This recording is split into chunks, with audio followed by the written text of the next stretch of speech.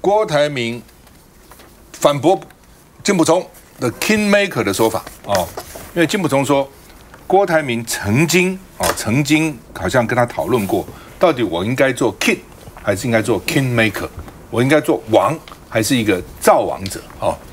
那后来呢，这个金普聪大概没有回答他了。后来一直到了金普聪不是那个他国民党说要要征召侯友谊。然后呢，郭台铭不是写一篇很感人的，说愿意支持好友的那个脸书吗？嗯，金伯聪才跟郭台铭说，那你就做 king maker 吧，而且我愿意帮你，如果你需要我帮，我愿意帮你。那现在郭台铭否认，说我什么时候讲过我要做 king maker？我没有讲过哦。而且呢，你你这个管你什么金小刀、金大刀，最后你就变成一个什么造王、造王者，反正搞死了，造王者啊！现在讲话，造王者哈。那昨天唐家龙说 郭台铭管是 king 还是 king maker，是 king killer，反正就大家今天一个 king 可以各种讲法了哈。好，反正郭台铭就说他没讲过哦，他没有讲过这个话啊。那另外呢，联合报今天等很大在 A 四版头条说王金平的人马曾经要劝郭台铭说，哎呀，不要出来的了啊，诚信比较重要，关中的信徒嘛，啊，仁义礼智信嘛哈。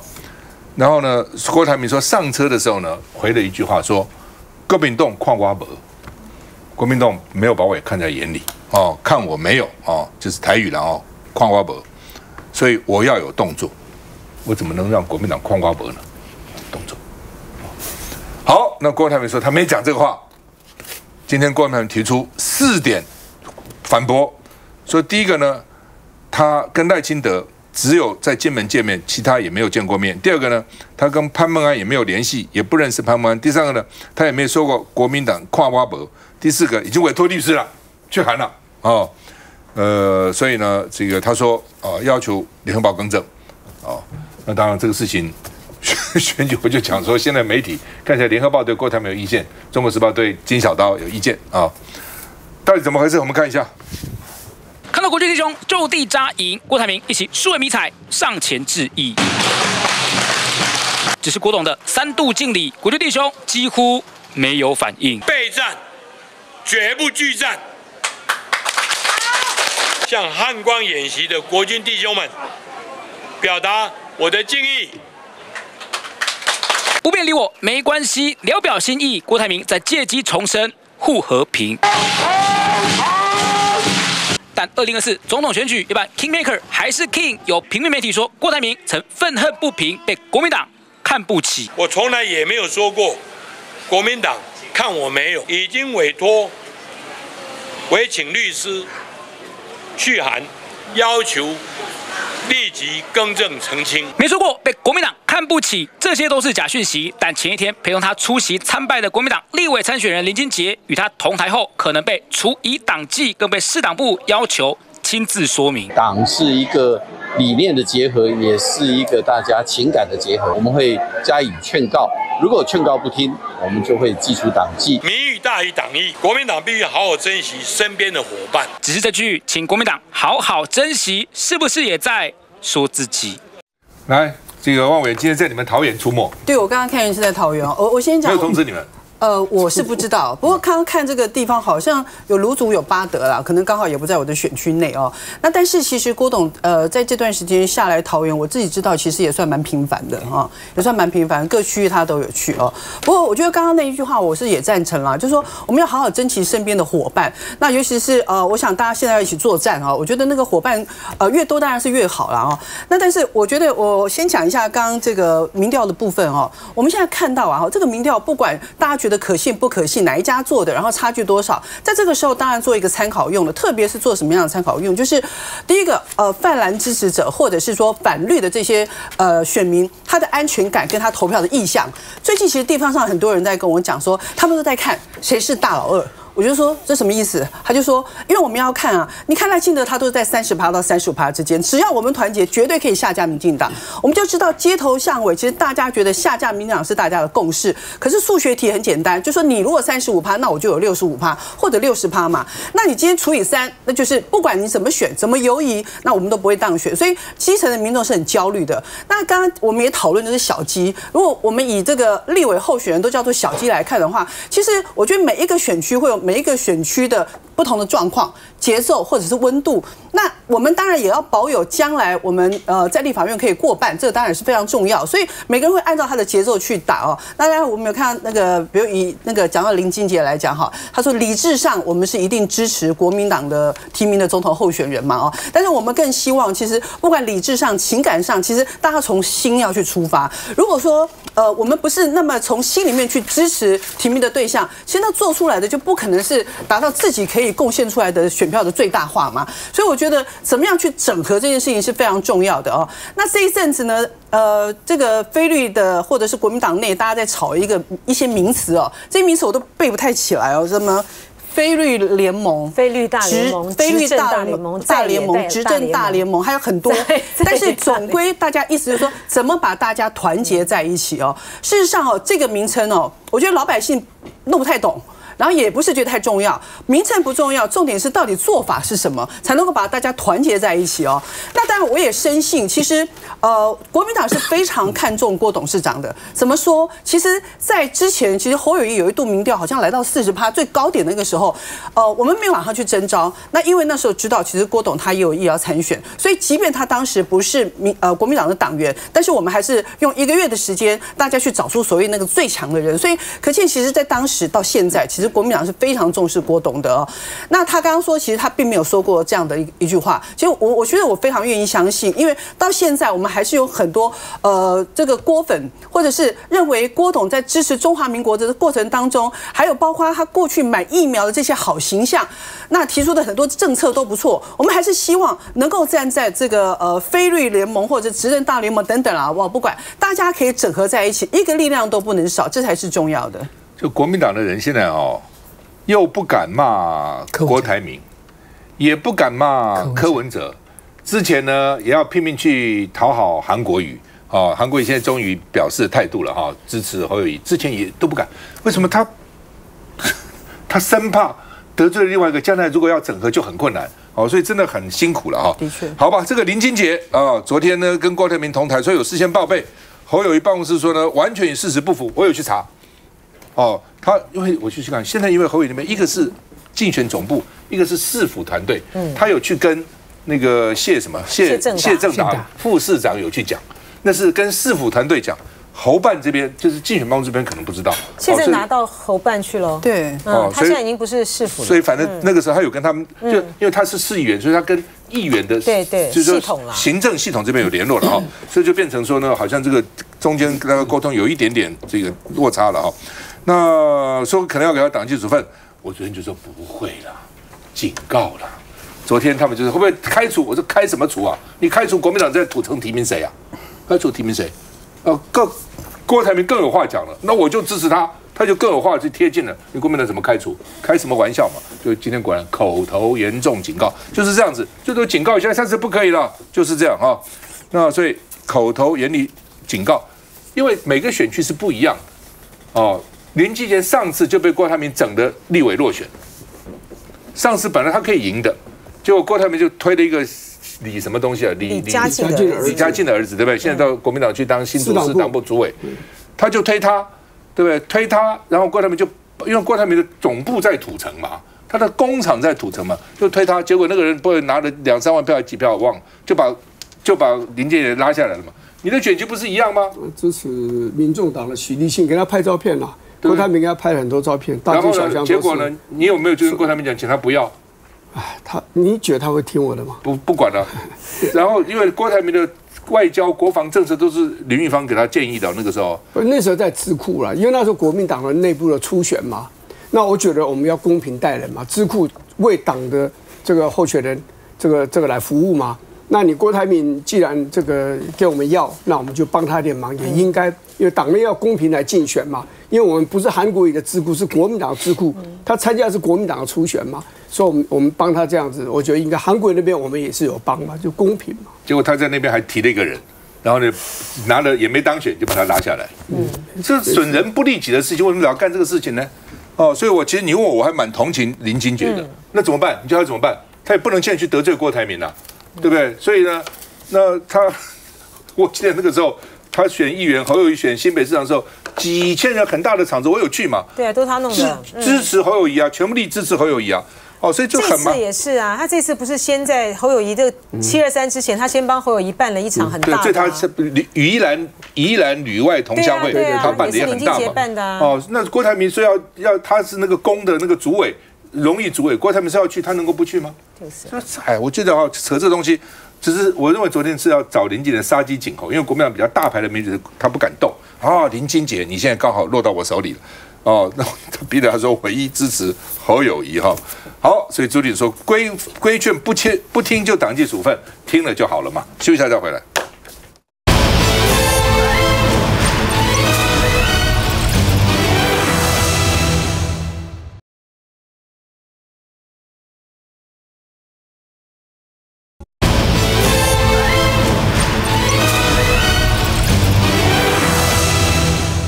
台铭啊是要叫《联合报》这个更正哦，因为《联合报》还有一个社论，郭台铭追逐总统梦的手段会让选民不安哦，所以呢，我想郭台铭他也不爽了啊、那另外呢，这个金门八二三有活动了哦，侯友谊、柯文哲、赖清德、郭台铭都会去哦，这个时候金门就很重要了，那也是一种象征的意义啊。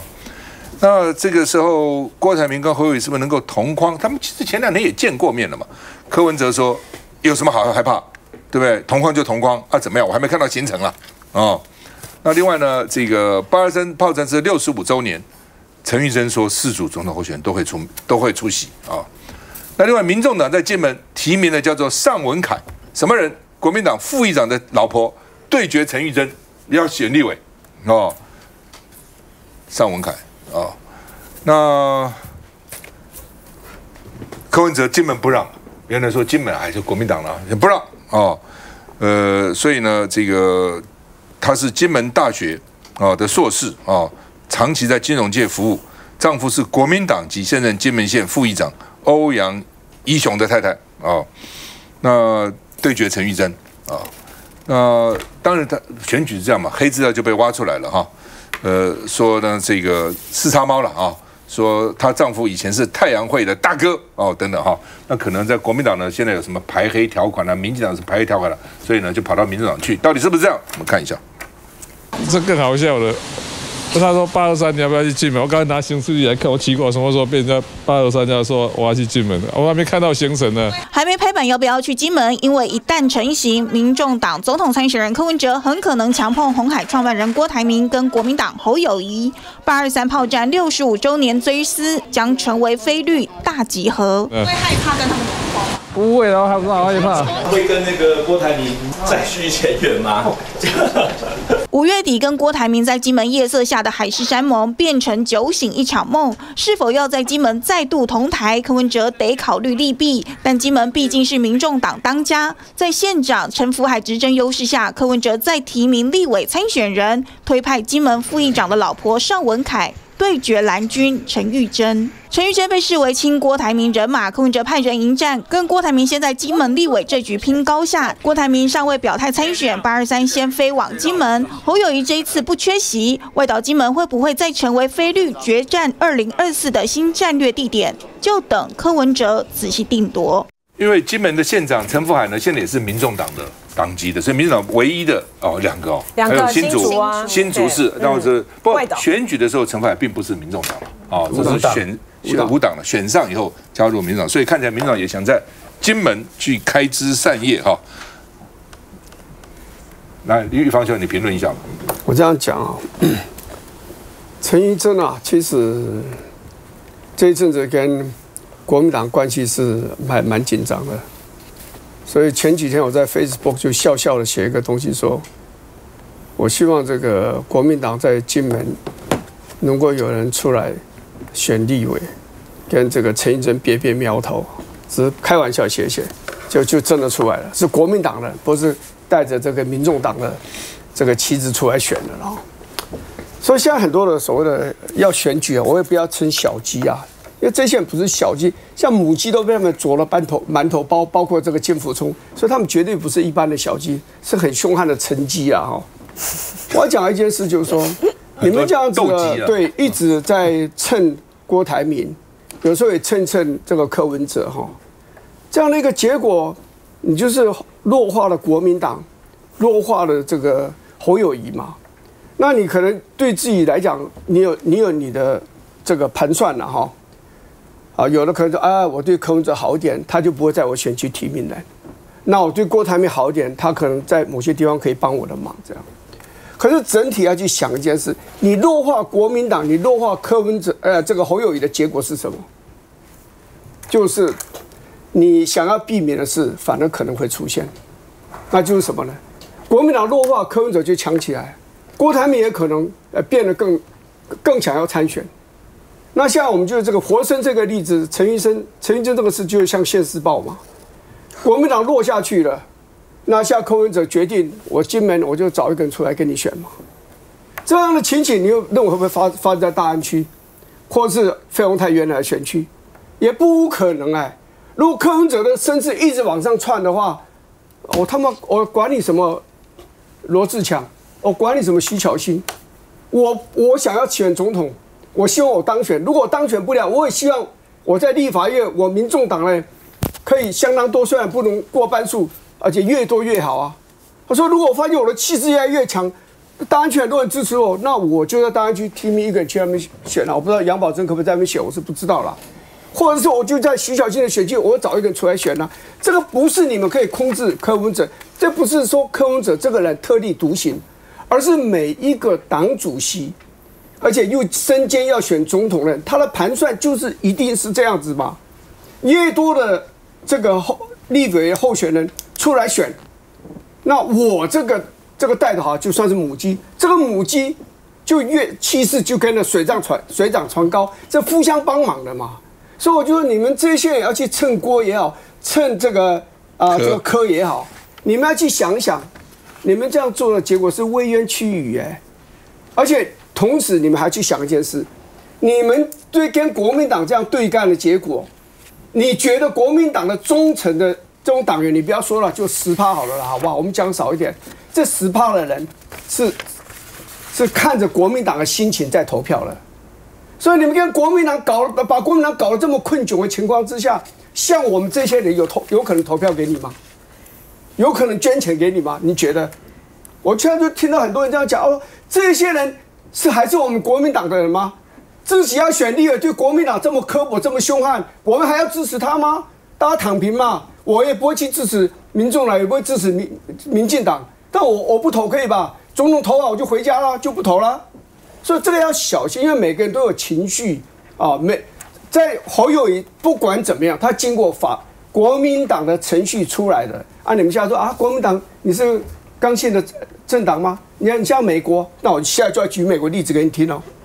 Liz Cheney，前尼副总统也当过国防部长，他的女儿叫做 Liz 利兹钱尼，他是在共和党的众议院第三号人物。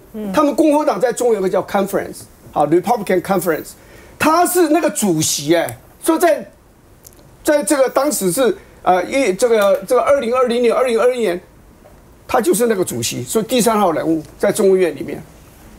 我跟你讲，他最后是怎么样？他是 Wyoming 选出来的这个众议员，Wyoming 的州党部警告他，第一次警告他，而且跟他讲说：哦，你二零二零年选举那一次，我们党部捐给你的钱，你全部给我退回，退回给我们，而且要他说，你最好赶快辞掉你的职务。好，接着几个月以后呢，干脆把他开除党籍了，你知道吗？那众议院本身怎么样呢？中院本身共和党的人最后决定把他除名，那个党主席、那个那个 conference 那个 chairman 也不让他干了。所以美国是一个柔性的政党哎，可是你看人家最后怎么做？开除你党籍哎，因为人家受不了了，就觉得说你都给我们唱反调。虽然我是有点同情 Liz Cheney，因为他是跟川普对干嘛，哦，所以对干的结果是这个样子的嘛。不，但是不管怎么样，就是说党总是要有点规矩嘛。你这样搞下去哦，哎，老蒋当时讲哦，我们现在想想很有道理，对不对？当时说你为什么剿匪？你为什么剿对付共产党？你们大家合作来对抗日本人才对嘛？那老蒋说安内要攘外要先安内嘛？啊，来了个西安事变，整个方向改了。那时候中国也不敢得罪俄国，那斯大林就坚持情况下，老蒋放了，那现在就不能再打共产党了，全力来抗日吧。最后结果是什么？最后结果不是我们就到这里来吗？所以我觉得任何一个政党哈，都是有它的规矩，而且你合法经过必要的程序推举出来候选人，你不支持那谁来支持呢？你告诉我，侯友声声望拉不起来，你一直讲侯友自己要好好把自己的民调冲起来，那你们像你们这些小鸡，天天在吐槽啊，你攻击金武聪的结果，你也等于在攻击侯友谊嘛？啊，国民党气势起不来，侯友起不来，那哪个是因，哪个是果啊？所以我我今天我讲金武聪。我跟他没有交情，我没有喝过他一杯水，他也没有吃过我一顿饭，哦，侯友谊也是一样。但我要讲说，金武聪干的工作是全世界人家最不想干的工作了，他愿意来挑这个中单哦，坦白讲不容易。而且你要怎么办？他的对手是要跟民众党、跟民进党来斗，那你国民党的小鸡不停的在啄母鸡，那你他不出来跟你们狠狠干一下，他不攘内，他怎么对外？对不对？我觉得了哈，就是说。国民党中央应该下个命令啊！哦，我如果是党主席，这两个月内不要给我谈什么政党联合、菲律大联盟，这两个月就是全部全部过支持侯友谊，两个月以后再说。这两个月不要扯这个，现在八七月底嘛，八月九月嘛，你这两个月要往上冲啊！你冲不上去，你谈什么大联合？你冲不上，人家看不起你，笑死你了，还跟你联合？两个月不多吧？两个月时间就够全部好好的冲。全部站在侯友后面冲，两个月后再说。现在扯什么联合不联合，联合不联合，扯了半天把自己自己都扯垮了嘛。续下再回来。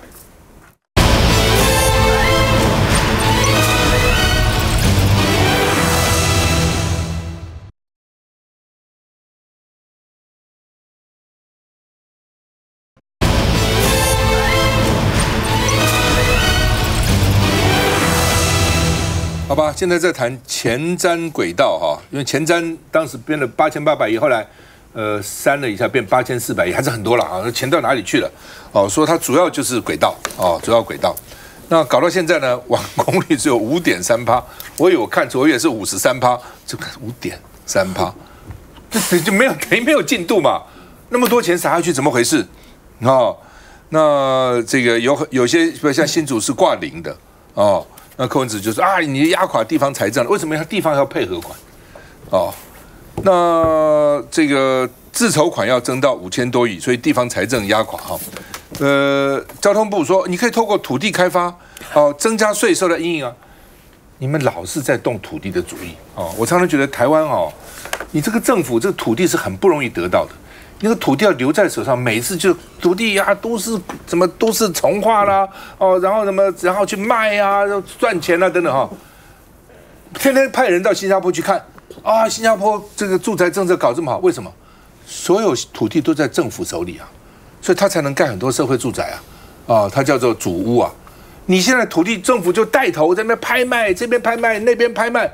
哦，因为地方没钱，就把土地拍卖变成他重要的财源，这个财财政收支，然后呢卖给建商，然后也然后也也提，等于是带头提高了这个土地的这个这个价格哦，然后房子越来越贵，越来越贵哦，然后你怪谁？政府是始作俑者，我告诉你，真的是始作俑者哦，然后就光靠土地赚钱，现在还鼓励地方去，就是啊把土地卖土地啊，你就有钱了，就有钱了哦，没有多少土地现在剩下的啦。他为什么会搞到今天这样？他就按按万箭齐发，因为他现在有三十八个标是同时在进行。我们台湾就这么小地方，就这么少人呐，这么少工程师啊，就这么多的工程师，这么多的监工，这么多的工人，就这样子啊。你现在变成大家在抢，再加上台积电哦，又是重金发现金，这个发加班费，没有工人了嘛，没有工程师了嘛，没有监工的工地主任都没有了嘛，所以到处。要不然就流标，要不然就进度落后啊，呃，材料也涨价，工资也上涨，你政府在带头在搞什么鬼嘛？哦，所以呢就变成流标啦，这边流标那边流标，变成一个恶性循环，就变成这样子啊。那柯文哲也说了啊，你不会是经济景气调整吗？你景气好的时候，你也许也许可以啊，你景气不好的时候也可以，景气好的时候你还这样干吗？类似这样的哈，反正大家抢嘛，地方政府也哀，说呢自筹款过高。赖清德说要民进党立委加强说明，说明个鬼啊！说明有什么用啊？你怎么说明？那就洪洪委员说明，那怎么说明？对吧？就是就是流标啊，就是价钱越高啊，就是地方自筹款这个出不这这个没有没有办法，这你政府的责任，你叫做立委说说明什么？哦，所以呢，现在说民民进党狂扫兵，民众党去批评他了，所以说就是搞权力啊等等。联合报社论也说前瞻变成前坑，郑文灿还在睁眼说瞎话，讲一些这个这个河汉私言的高空的打高空的话了。来，洪伟，你说明啊，到底怎么办？其实前瞻八千四百亿，它其实分为两期哈。那当然，这一届的立法院在二零一七年当时是第一期，这一届的立法院有进行第二期的特别预算。其实我我说实话，我我我我自己觉得，我其实常常看柯文哲出来骂这个什么钱坑啊，哈，或者是什么大傻逼，我我我自己真的觉得，其实柯文哲常常出来骂这事情是不太厚道的。其实台北市哦，他在当台北市的时候，这个他的基础建设过去长期从也许从七七零年六年代六零年代，其实中央就支持台北市的部分其实非常非常多，所以台北市的基础建设基本上相比于其他县市来的完整，来的好。品质也好，包括捷运等等等，其实都处理差不多。那你说像高雄 或其他县市，它这些后进的城市，它开始要来做自己城市的改编跟转型，包括桃园哦，其实很清楚，它本来其实是这个阶段就会需要很多基础建设的投资。可是柯文哲现在一下就出来骂人家说啊，你这个不不顾财政纪律，你这个傻逼，你这个乱花钱。我说实话，以台北市长的角度去讲这个话，我觉得是不公允的，因为你之前是中央的部分，其实已经都帮你做好了，你现在不用特别担心这件事情。好，再讲前瞻，其实前瞻我想大家都很清楚，其实他的这个计划是地方去提的，不是中央指定做哦。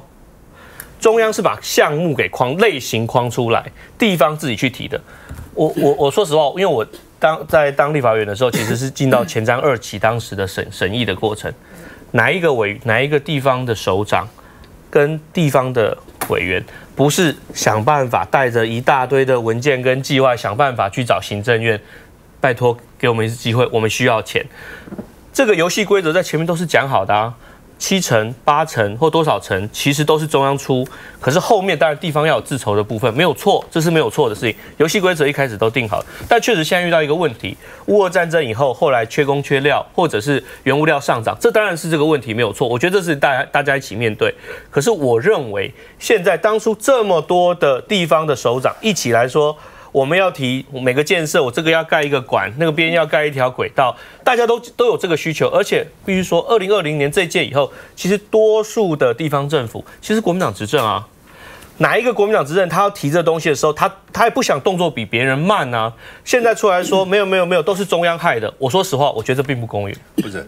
当中央有这个计划的时候，地方去抢抢，怕落人或抢钱是必然如此。当然，谁也不敢不要嘛，不要不这不你不要白不要，而且不要的话，搞不好被还被骂。所以这个局面，中央地方我觉得一起一起承担。但是。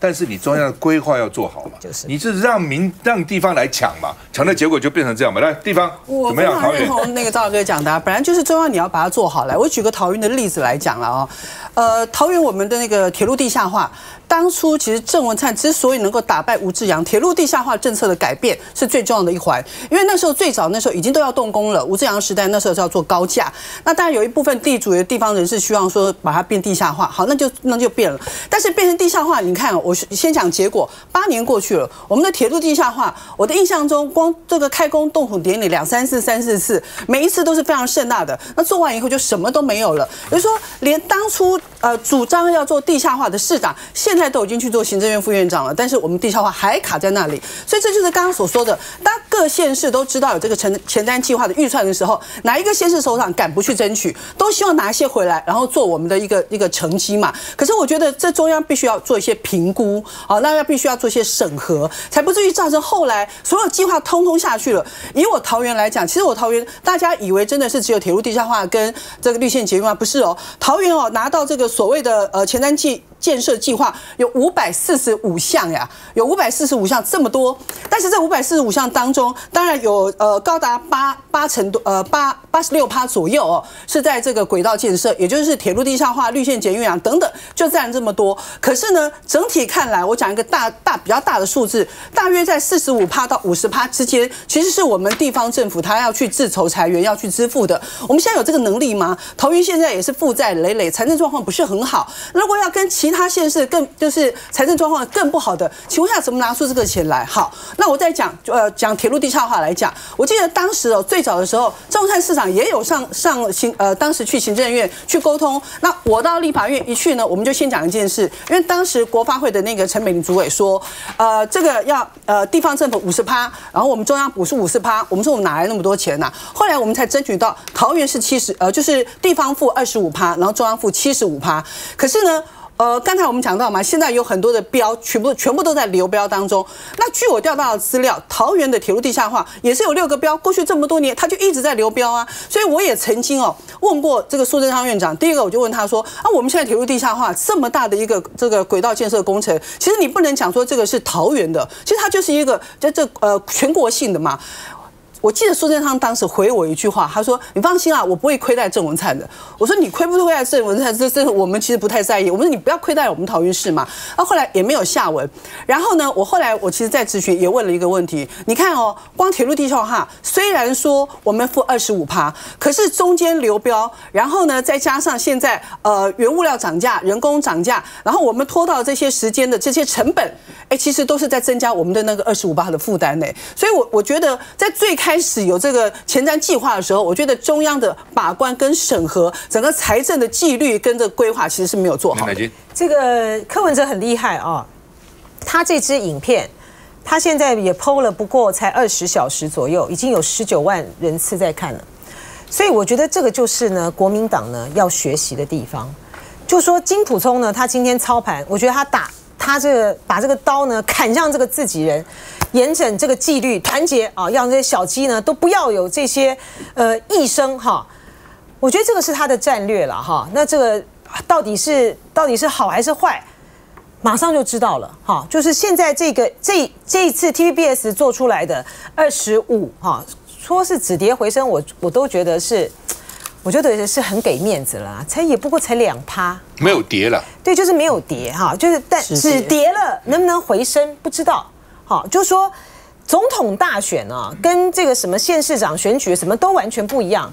为什么我们就说什么母鸡要带小鸡？因为那个不只是说小鸡团结在你底下，你母鸡就可以壮大起来的，不是的。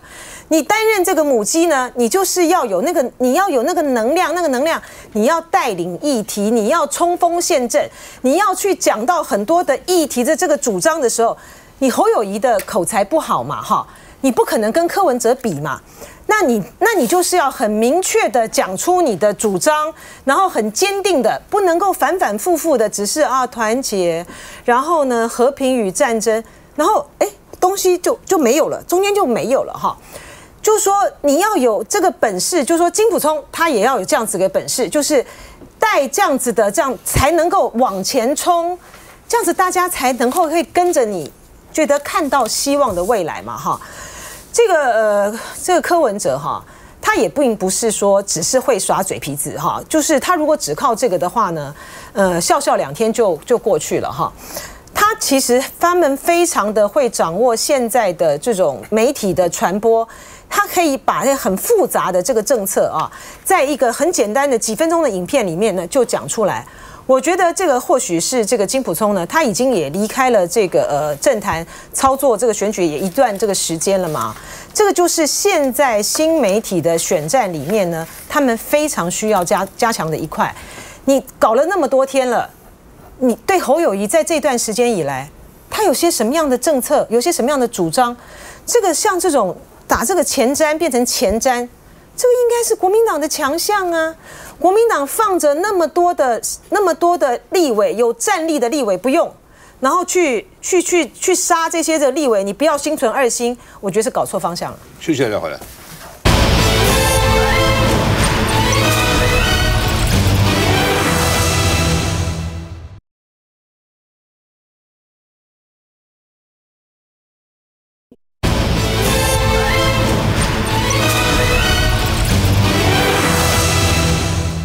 那么，民进党议员到监察院检举柯文哲违反政治献金法，说因为柯文哲的演唱会是假开唱真募款。哦，谁呀？林延凤、严若芳哦，这个什么郑文题都要选举的啦。哦，然后呢，去去骂柯文哲，说违反挑战，他没有说违挑战政治献献金法。民众党说我们不会回避申报，都是该申报就申报哦。那到底是真演唱假演唱哦？那到底怎么回事？等等，请这个发言人说明哈。那科办回呛说，这叫假正义真抹黑，假演唱真募款，假正义真抹黑啊！说你们抹黑我们啊！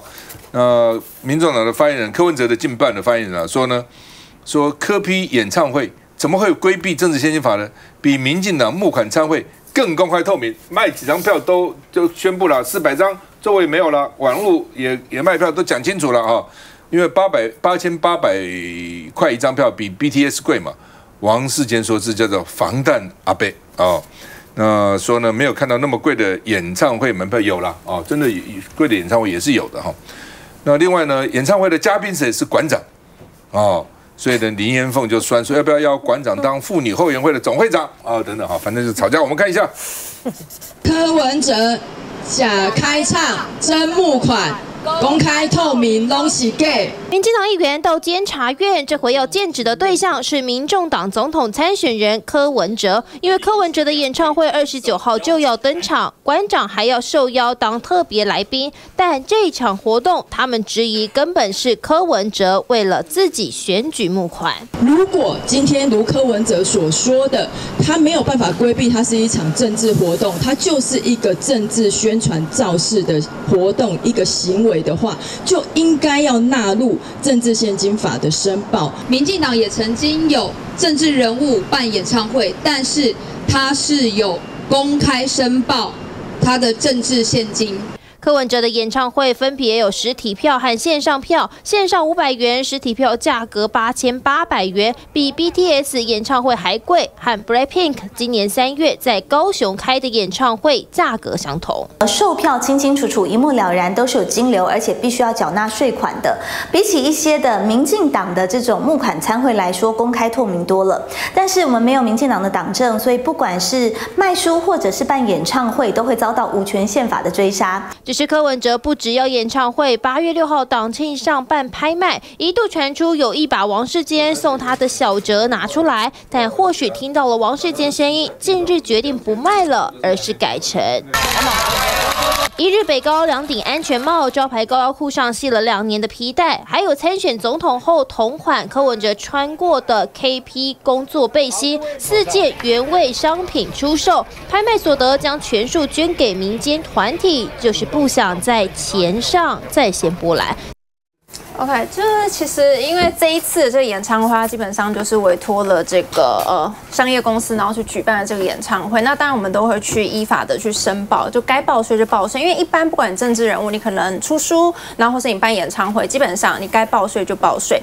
那所以我觉得并没有所谓的我们想要去规避这些法律，然后甚至说我不想要去做申报，其实没有这件事情的。而且我也必须讲，因为其实我后来稍微了解了一下，虽然他现场票他在四百位嘛，然后。然后呢，八千八，然后加上线上是五百块的。其实后来算一算，发现其实也没有真的赚到多少，因为其实那个演唱会的成本也很高，所以必须老实说，其实也没赚多少。但不管赚了多少，都一定会去如实的去报税。所以我觉得其实不用一直想要特别的在这个部分，然后想要去做文章，然后甚至可能去抹黑。就该我觉得该怎么做就怎么做。我觉得每个人都是一样，在这个法律之前，我们人人都是平等，就没有必要说啊，因为你是柯文哲，所以我就要特别拿这个。放大镜、显微镜，然后去照你，我觉得就也没有必要。然后另外我觉得蛮有趣的是，因为现在大家都在讨论说柯 P 的这个演唱会嘉宾是不是有关账嘛？那现在绿营好像也在酸说要不要当妇女后援会的员。我觉得就是不管是邀请谁哦，因为我发现好像有一些声音子说什么啊，你是不是有什么选票的考量啊？或者你这样不怕他会去影响到你的妇女票吗？等等的，我觉得其实也不用去想那么多。本来这场演唱会它就是一个比较同乐的性质，是比较休闲的一个性质，所以我们不会每一个环节都去说，哎，这个可不可以算多少？这个族群的票可以拿多少？这个族群的票可以拿多少？根本没有去想这么多。那你说，我觉得馆长他到现场，他如果到现场的话，那当然有他自己的一个客群，他其实有他的 TA，然后有他自己的这些粉丝。那我觉得不管是哪一个，我觉得都没有必要这样大做文章。老沈，他不要买票。我觉得可以啊，在这一方面。是很厉害的，嗯，因为不需要什么大智慧，嗯，他需要的是小聪明，而且他做起来呢就举重若轻，嗯，就随便做一下，就保证不会失败啊，成功多少他好像也不太在乎。现在为什么民进党派这三位这个去修理他，是因为你是你们害他的。因为你有一次这个民进党的可以把他变成把科比的的这个支持变成第一了嘛，然 后变成第一了哈。这个是犯了民进党的忌，他一定要把科比稍微打下来一点，因为他最到最后的目标是要把科比跟侯友拉得非常近。那你们两个非常近的话，这个赖清德就稳当选了嘛。所以你看，但是呢，现在就是金普松就讲，我他们家说哦，你现在打科比，他说我绝对不打科比，因为国民党还有一个幻想，就是说将来是要蓝百合的，说我现在干嘛打他干嘛？现在让民进党打就好了。所以这个充满很多就诡计多端的盘算。说实话，我觉得柯文哲这一场演唱会，其实他当然是一个成功的噱头啊，哈。但也清楚嘛，他其实确实就是游游走在法律边缘。今天如果民众党哦是提名周杰伦当总统候选人，我就相信他是真的演唱会，不是周杰伦当总统候选人嘛？他当然是游走在法律的边缘嘛，哈。所以从噱头来看，民众党当然有他一定的成功。可是既然你游走在法律边缘，当别人指引你的时候，你也该认嘛。其实某个部分来讲，其实就是不够开大门走大路嘛。不管你噱头多成功啦。我觉得这件事情提到那个法律的层面哦，稍微有点太沉重了。因为柯文哲一定是经过精算的哦。也许这是一个小聪明，但是不得不说，真的是呃很棒的一个宣传。那刚刚宝珍讲说，其实扣掉成本什么也没有赚多少。其实我要讲是赚大了啦，因为他赚到了新闻性，赚到了话题性，而且哦，我是不知道现在网络上面的订票是有多少钱哦。啊如果以他现场来说，呃，大概三百多万嘛。那网络如果一万个人算，大概也有五百万。然后如果万一那个人数再多五万、十万个人哦，那个其实也是不少钱啊。但最重要的是还是赚到这个声量、话题性，而且这样子的就是比较有趣的这个方式，又再度吸引了年轻人。年 年轻人就是有反叛的特质嘛，所以他办这个活动，你民进民进党出来打压他，那对这对他来讲，就有更多的年轻人来支持他嘛。所以他是他是精算过的，赚大了。他他是他从来都不是政治素人，从他决定开始要选台北市长那天，我就认为他根本不是素人，他比大家想象要深沉多了。对啊，就是柯文哲呢，就算是有争议，他也会把它转掉，对不对？哈，比如说丑女啊、艳女啊，他们用别的方式，哎，他永远都在这个战场哦。我觉得这个国民党其实才真的是应该头痛。